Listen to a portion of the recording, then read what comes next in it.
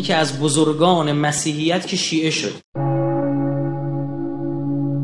ایشون از ارامنه ارومیه بودن.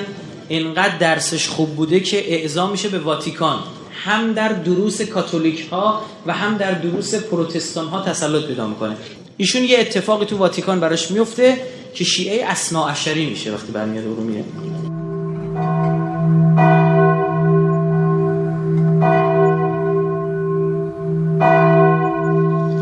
بعد از ورودم به واتیکان نزد استادان آن دیار به تحصیل علوم مسیحیت پرداختم. به ویژه استادی از فرقه کاتولیک که از نظر موقعیت اجتماعی دارای مقامی والا بود و در زهد و تقوا شهرت بسزایی داشت. از این روی دارای مریدان و پیروان فراوانی از فرقه کاتولیک بود. عوام و خواص از اعیان و اشراف و صاحب منصبان نزد او حاضر و هدایای نفیس به او تقدیم می‌کردند. و از طرفی او از نظر علمی مراتب عالی را طی کرده و از استادان معروف خی زمان خود بود و هر روز صدها نفر روحانی زن و مرد در درس او حاضر می شدن. از تعالیمات معارف عالی او با اشتیاق کامل بهره می بردن. در میان شاگردان خود به من عنایت خاصی داشت از این رو علاوه بر اظهار محبت نسبت به من تمام کلیدهای محل سکونت خود را به من سپرده بود جز کلید یک اتاق کوچک که تنها نزد خودش بود از اینکه کلید آن اتاق کوچک را به من نسپرده بود در دلم به او بدبین شدم و دائم پیش خود می‌گفتم لابد در آن اتاق اشیاء قیمتی اهدایی را ذخیره کرده است و نمی‌خواهد من آنها را ببینم. پس زهد را برای دنیا می‌خواهد. این احساس درونی خود را هرگز بروز ندادم تا اینکه روزی استاد کسالت پیدا کرد. و در کلاس درس حاضر نشد. مرا طلبید و گفت به شاگردان بگو من کسالت دارم و نمی‌توانم در درس حاضر شوم. و به آنها بگو بروند. من از نستش بیرون آمدم دیدم شاگردان در مورد مسائل مختلف دینی به مباحثه مشغول هستند. تا اینکه بحث آنها به لفظ فراغلیتا رسید که در انجیل چهارم باب 14 15 و 16 انجیل چهارم یعنی یوحنا. حضرت عیسی علیه السلام آمد آمدن او را بشارت داده بود. هر کس نظری داد و بعد از آن پراکنده شدم. من هم نزد استادم آمدم. گفت شاگردان در مورد چه بحث می‌کردن؟ گفتم موضوعات گوناگون از جمله لفظ فراغلیت و هر کس نظری داشت. استاد به من گفت نظر تو چیست؟ گفتم به نظر من نظر فلان مفسر مسیح بهتر است. مسیحی بهتر است. گفت تو مقصر نیستی ولی همه آن نظرات دور از واقعیت هستند چرا که حقیقت آن لفظ فقط نصیب راسخان در علم می شود اشتیاق درک این حقیقت مرا از خود بی خود نمود و با التماس فراوان از استادم تفسیر آن لفظ را خواستار شدم.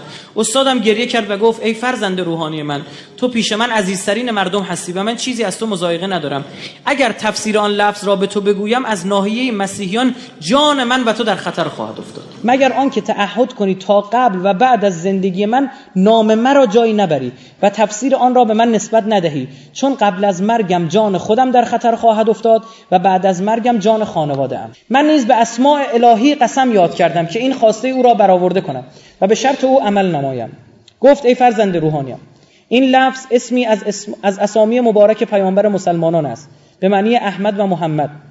پس کلید آن اتاقی را که فقط نزد خودش نگاه داشته بود به من داد و گفت برو با آنجا برو و فلان صندوق را باز کن و آن دو کتاب موجود را نزد من بیاور.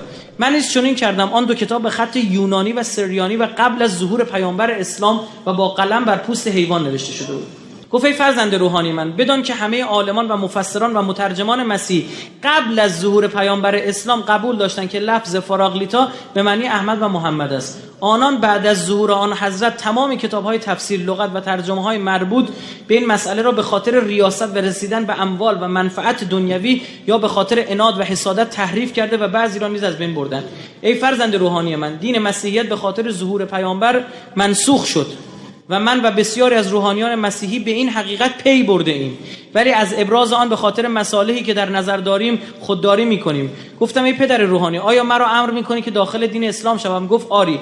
اگر آخرت و نجات را می‌خواهی باید دین حق را قبول کنی و من همیشه تو را دعا می‌کنم. چون آن دو کتاب و گفته ها و تاییدهای استاد را شنیدم نور هدایت و محبت محمد به طوری بر من احاطه پیدا کرد که دنیا و هر آنچه که از مظاهر آن است در نظرم کوچک می آمد در آن لحظه اندیشه جز اسلام و پیام آور آن در سر نداشتم. از این رو از محضر استادم خداحافظی کرده در پی حقیقت روان شدم. انیس الاعلام جلد یک صفحه 8 تا 20 شو خلاصه شو به خدمت شما بود.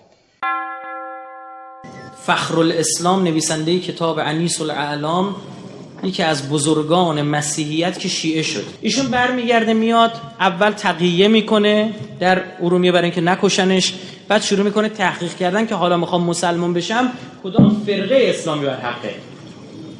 شروع می‌کنه تحقیق کردن به تشیع اصناعشری می‌رسه. نجف درس می‌خونه آیت الله میشه.